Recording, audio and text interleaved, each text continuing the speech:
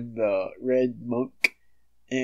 today we are going to talk about a very common problem that a lot of people have, and that is being unable to go to sleep.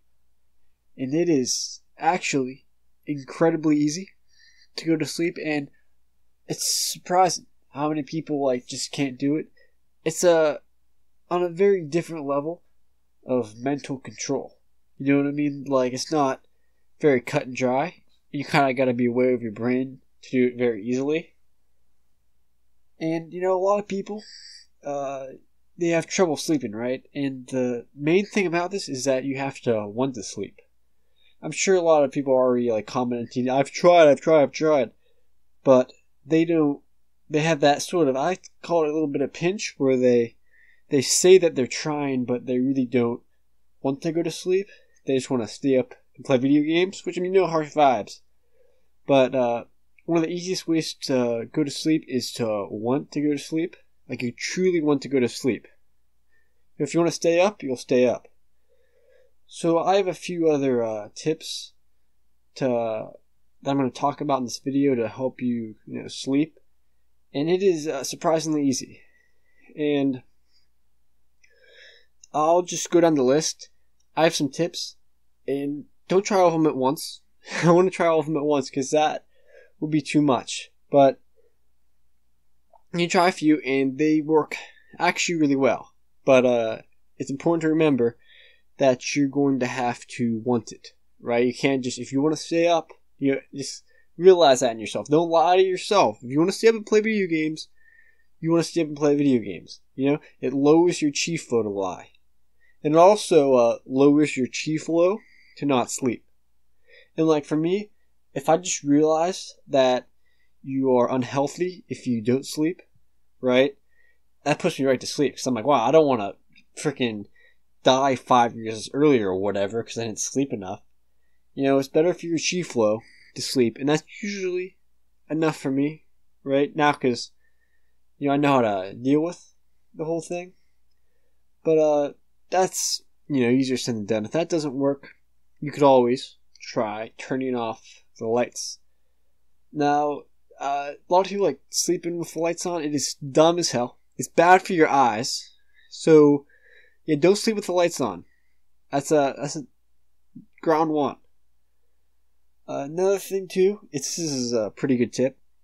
When you get into it, like two minutes in, just like get in your bed, get in the position, and you don't sleep for like a few minutes. And don't if you do this strategy like 20 minutes into not sleeping, but like sitting in your bed and just staring at the ceiling, it won't work nearly as well. But like sort of like in the puberty of the whole going to sleep thing, you think to yourself how annoying it would be to get up. This is this and uh, realizing how healthy it is to not sleep and uh, turn off the lights and realizing how difficult it would be to get up when you want to sleep works for me every night. Those are my three basic tips, but they aren't, you know, going to work for everyone. Everyone's different. So I have a few other tips, but I recommend trying those. You know, they work very well.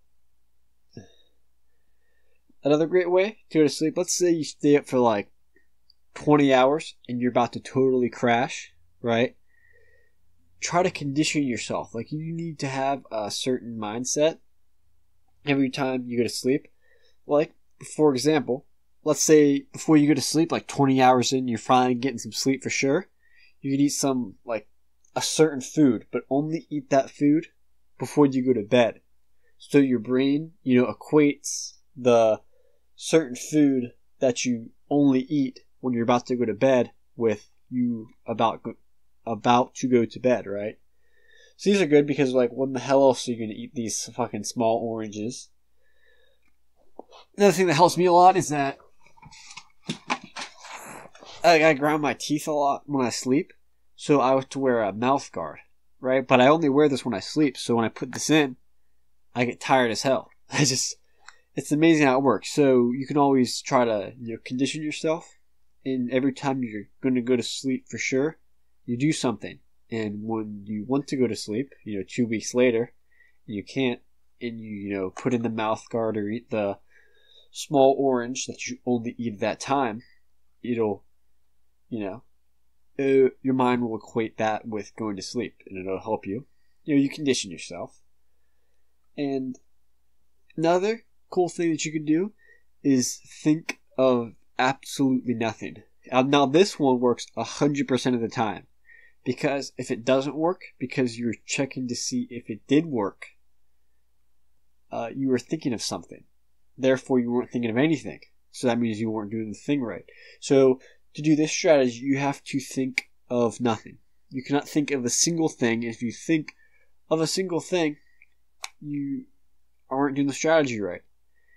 And if you're checking to see if it's working, you're thinking of something, right? So that works 100% of the time, but a lot of people always check. Like if you're checking to see if it's working, you're thinking of something. Therefore, you're not doing it right. Um, another thing that I can't recommend, but this is good for the you know acquainting this. I'd recommend the next strategy uh, in tandem with something else, but you could always try you know like some soft drugs. Now this is 100% legal. It looks like a pill and it looks very bad, but uh, depending on where you live, this is just a ground up plant called kratom. I have it. I never use it. I never even tried it, but I have it just for collectors. And there's a lot of shit out there like you know CBD or like weed if it's legal where you live, and uh, shit like that, or even caffeine. You know, caffeine makes me super fucking tired. I don't know how people stay awake after drinking caffeine, but uh, you know, just get those drugs, and that's good because uh, you know, gets you in the condition to sleeping. But I recommend doing that in tandem with something else because you don't want to be dependent on drugs. Like before you go to sleep, you always have an orange, and then you have uh, whatever uh, ground up plant pill and then you just phase out the plant pill because uh, non prescribed medication dependencies are not good. But, you know, to break the sheer lack of going to sleep momentum, they can work for like a month.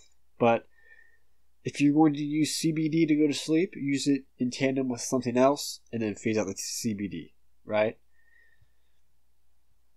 Now, a lot of people listen to whatever ambient whatever music in the background. I don't recommend that just because it, freaking stresses me out. It's just it's so fucking stressful to try to fucking sleep and you hear music in the background.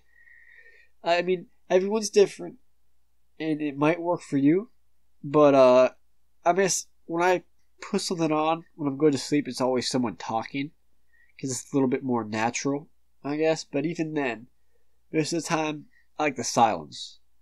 Or, you know, if you're gonna get something that you're gonna have in the background as you go to sleep, it should be something like actually atmospheric, not just uh fucking artificially whatever ambient music to go to sleep. You could open the window and just like hear the wind come in. That's a really good way to go to sleep. I mean, it's winter time right now, so you'll be pretty fucking cold in the morning if you leave your windows open. But during the summer, damn, if you just put your windows open and just like listen to outside, you know, listen to like some birds or the crickets, that'll send you to sleep immediately. Opening the windows is a really good way to go to sleep. Not only that, you get the fresh air in, and you can just sort of, you know, focus on the feeling of that, you know? And the room feels fresh, and it'll send you right to sleep. It'll make you feel colder, so you're like more, you're like snuggling up to. But, uh, there are hour and a half sleep cycles. So when you sleep, let's say you sleep for half an hour, you're not going to get a night's rest. But if you sleep for an hour and a half, you actually get into the whatever deep sleep cycle. And you have to sleep for an hour and a half minimum to get sleep. So if you sleep for uh, seven hours, uh, an extra hour of that sleep time was uh, didn't at all go to your uh, sleep meter, your exhaustion meter. It did an hour of that sleep did not go to get rid of your exhaustion meter, right? So when you sleep, make sure you sleep for an hour and a half segments. You can always add an extra like 20 minutes onto it so you can actually, you know, fall asleep and then, you know, snooze the alarm when you get up. But it's really important to sleep in hour and a half segments. Like either sleep for three hours, four and a half, six, seven and a half, or nine. Don't sleep for like, I mean, four hours is nice because you get that extra hour to, you know, get into it. But anything less than hour and a half for sleep is a nap. And naps aren't bad. And I'm not, I'm not going to diss naps, but it's important to realize that uh, naps are not sleeping. Now you can get, now I hear like a half an hour nap is equal to like four or five cups of coffee for energy. So, I mean, it's not bad, but it's not sleep. Uh, another thing that people have said that helps them with sleep uh, is body pillows. I mean, if it works for you, if it works for you, I mean, you're gonna always be sleeping by yourself if you use that strategy. But you know, uh, I will never judge. Uh, it's not my uh, goal to judge. One of the best ways I found to be aware of the fact that you actually want to stay up and play video games instead of going to sleep is this like uh it's sort of a uneasy like pinch in your head. It's just sort of like unnatural grind to it a little bit when you're like trying to sleep and it's not working and it just feels doesn't feel right. Because you know, if you don't want to sleep, you're not going to go to sleep. And if someone's commenting right now, I try every night and it doesn't work. And that is because you do not want to go to sleep. It you will stay up if you want to stay up. Right? Unless you've been up for like 20 hours, then you'll fucking pass out. But you're gonna have to want it. And being aware of when you don't actually want it and you're just doing it because you're working four hours is uh is different, right? It is different and it is important to realize that. Now, what else? I think that's all I have. I think that is all I have. I uh, you know sleeping. I'll go through the four basic ones that I always use that have always worked for me. Just to conclude. The first one is I think about how bad it is to not sleep while I'm in my bed staring at the wall. And it just occurs to me, I'm like, wow, I should fucking go to sleep so I don't have fucking eye bags. Uh, the other uh, second thing I think about is I get into it for like five minutes and I think about how difficult it would be to get up. And that works really well. The thing is that I uh, condition myself with, I wear a mouth guard every time I sleep.